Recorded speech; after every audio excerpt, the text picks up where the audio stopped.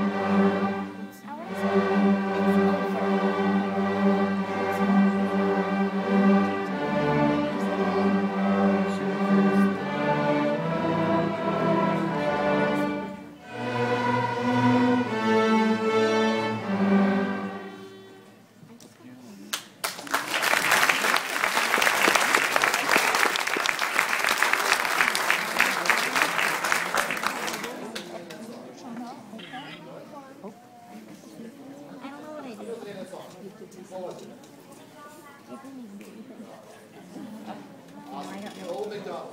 We're going to close this portion of our program. We're going to play a song called A Mozart Melody. You'll know it as, as a different title. But this melodic line was actually very made very famous by Mozart in a later composition. How do you make it sing? And so enjoy a Mozart melody. And this one will be Twinkle Twinkle Little Star.